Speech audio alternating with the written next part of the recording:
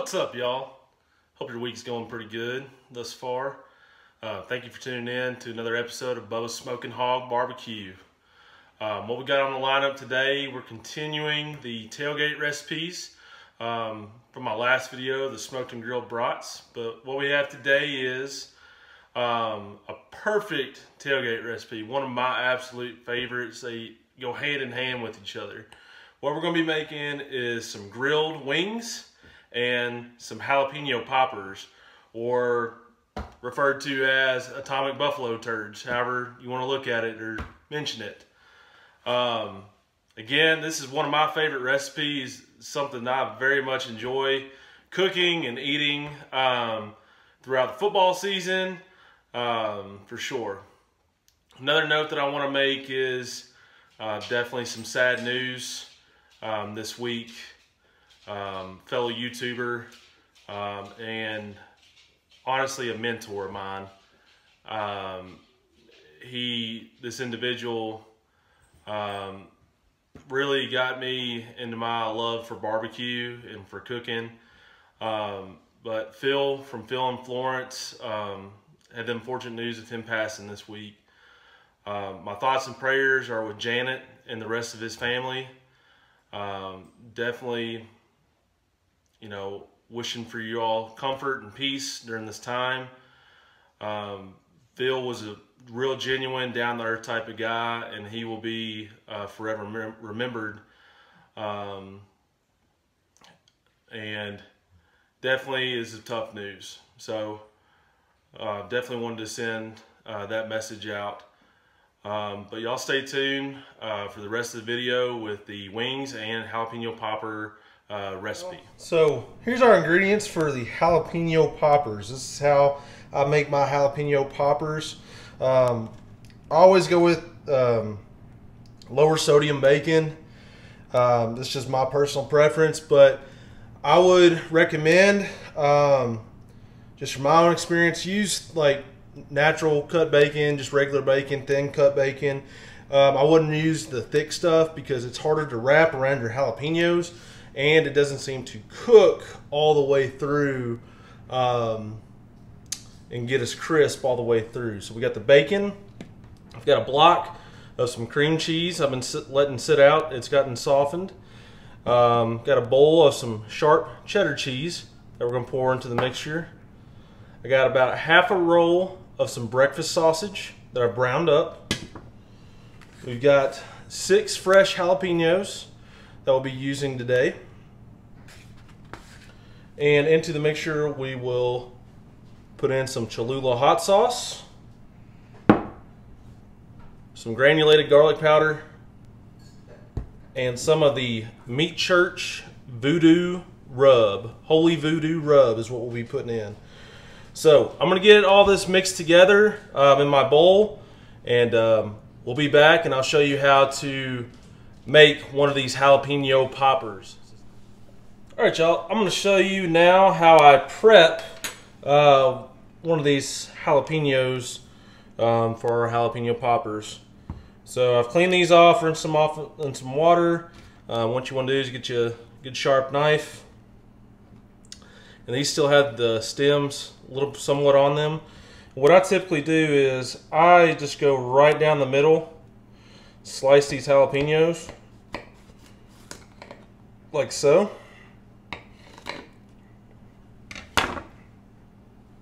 Or they're halved. And an important note to make, I know I'm not using best practices here at this video. Anytime you're cutting into peppers or deseeding or removing the membrane, I would encourage you to wear gloves, but since I don't have any gloves, um, I'm definitely, once I get through um, deseeding these, getting the membrane out, washing my hands immediately afterwards because you definitely don't want to touch these jalapenos and then touch something else and it's going to set you on fire. So that is my recommendation. But like I said, I typically next I grab a spoon and then what I do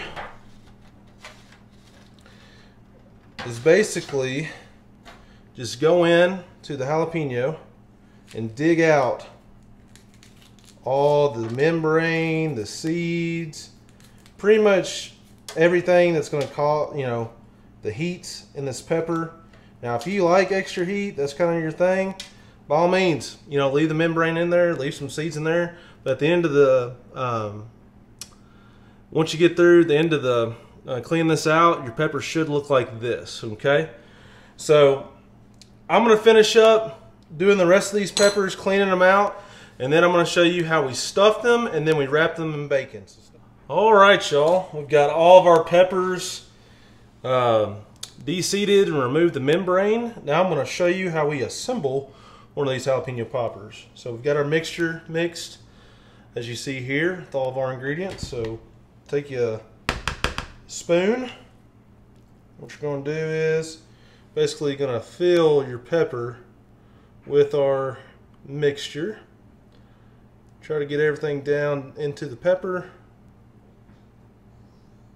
Once everything is into the pepper like so, I'm take a strip of bacon.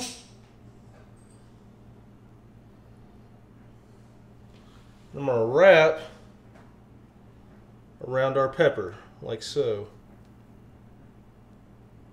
Try to get a nice tight wrap and get the entire pepper wrapped in this bacon.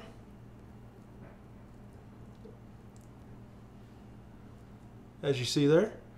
And then I just like to secure everything with a toothpick. So I'll come in here on the side and just secure the bacon to the jalapeno. And that's all you have to do to assemble your jalapeno popper. So I'm gonna get the rest of these assembled and setting over here on my tray. Um, when I get back, all these will be assembled and we'll show you what we're doing next. Well, we're back. So all of our jalapeno poppers are assembled here as you can see. Um, got them wrapped in bacon, stuck a toothpick through them. And then what we have here is our chicken wings portion of today's cook. So what I have here is roughly about uh, four pounds of chicken wings. Um, these are jumbo wings that I picked up uh, at my local meat store. So what we're going to do we're going to season these wings once again with the Meat Church Holy Voodoo Rub. So we're going to do a nice coat of this seasoning on both sides. And once we get it seasoned, we're just going to let them sit here and air dry to let that skin get nice and crispy.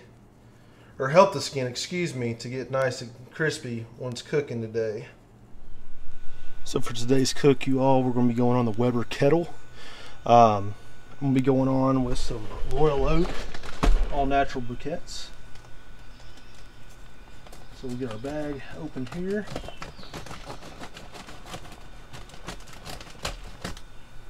Like so.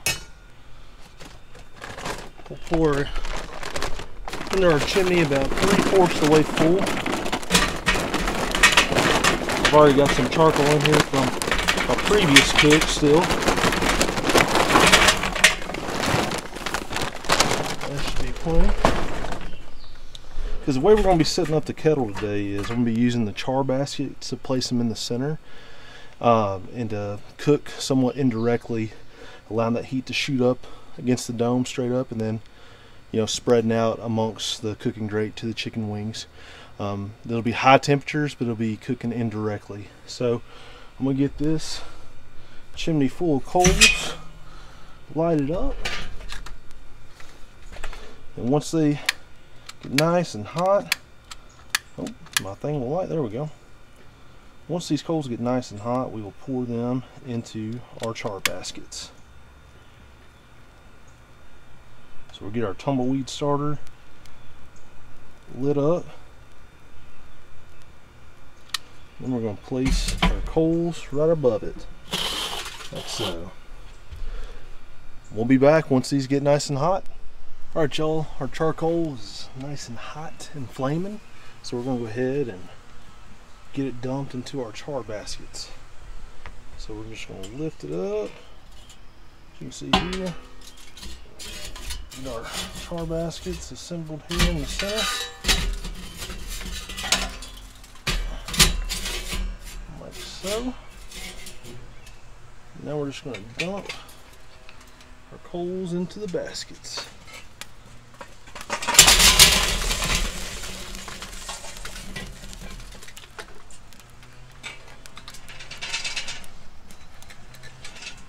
y'all our grill has come up to temp we're just below 500 degrees is what's reading on the gauge here for all that um, centralized heat hitting the dome and then radiating off to the side so we're going to go ahead and put on our food Poured a little foil sheets down here just to catch some of the excess grease, um, especially from the bacon. So we're to go ahead start placing these on the grate.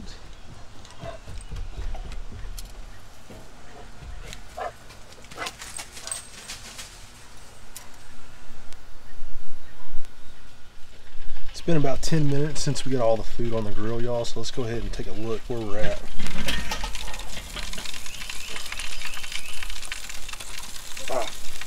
Smoke that mine. Just wanted to let you know too, I put a chunk of hickory wood right in the center to give a little smoke flavor. We got some good color going on. I'm gonna go ahead and flip these wings.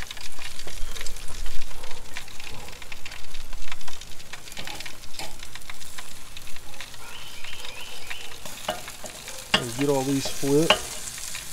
Get some good even cup, uh, cooking on both sides. And we'll come back and check on them here in about another 10 minutes.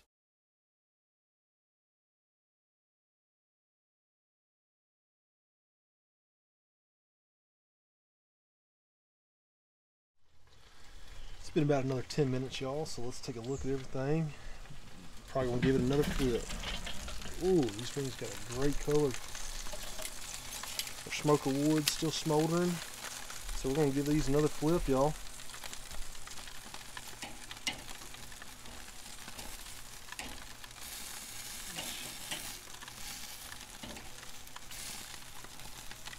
I'm gonna flip all these over and come back in about another 10 minutes and let y'all see what we got. Apologize y'all, my sound wasn't working for this portion of the video.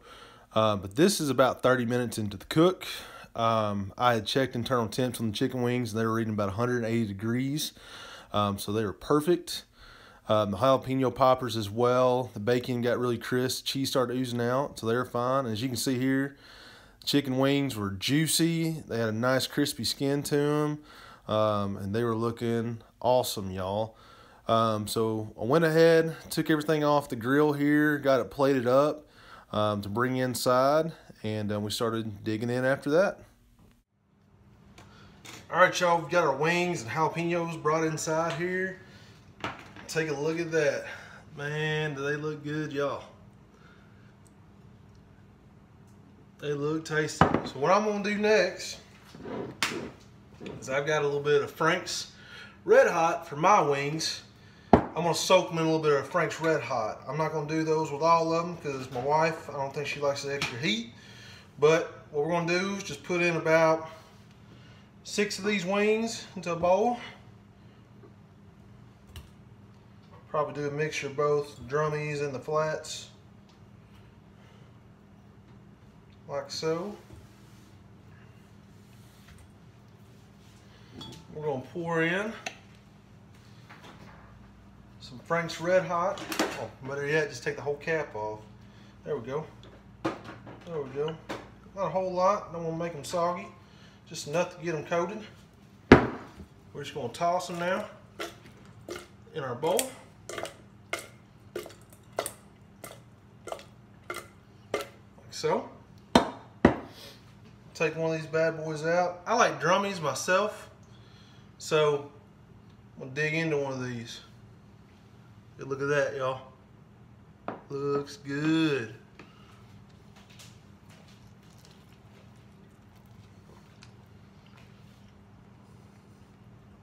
Mmm. Mm-mm-mm. That is tasty, y'all. Man. That meat church, the Holy Voodoo rub, is amazing on these chicken wings. Definitely gonna do a go-to for those for sure. Um, going further for future tailgates and everything.